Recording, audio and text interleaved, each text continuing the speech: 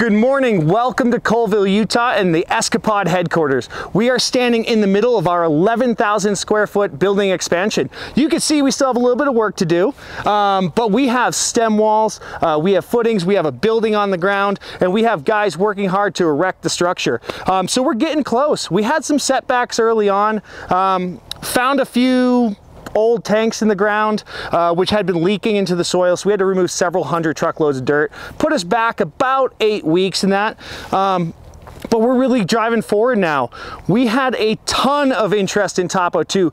It caused us to rethink how we're gonna build this um, and how we're gonna get the production line off the ground. And so we didn't wanna interrupt Topo 1 production. And so we actually are gonna build a new, pro uh, new product line, a new Topo 2 line in this space. We're still shooting for an April start um, and we're pushing really, really hard to get there. But I wanna show you around a little bit. So this here is our existing structure.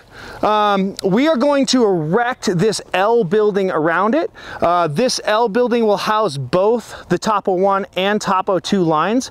We're gonna lean out the process a little bit, get a little bit more workflow in the Topo 1, and then totally rethink how Topo 2 is born.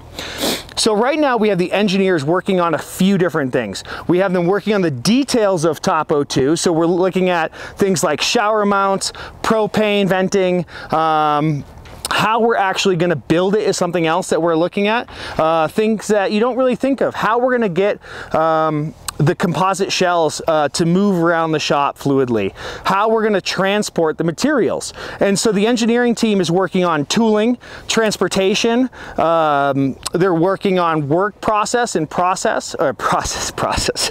they're working on work process and procedures, um, and really getting the Topo 2 line to the spot that when we hit the ground, uh, we'll be able to run on day one. Um, also, um, the entire team is working on testing for Topo 2.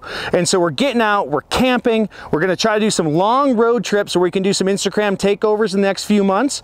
Um, get the Topo 2 on the road, make sure it's 100% ready to go before we put it out. Um, Again, it's really hard right now to track down or, or to really nail down uh, the production timeline because there's still so many converging variables. And so we're getting the tooling going, we're working on the final details, we're getting the final pricing, working on an air conditioner unit, which I know you guys love. Um, and we're also building a building and we can't start the production line until we get that up and going. And so we're gonna keep you up to date, uh, make sure that you know when this thing's gonna start, when you're gonna get your trailer, and make sure we communicate with you really well.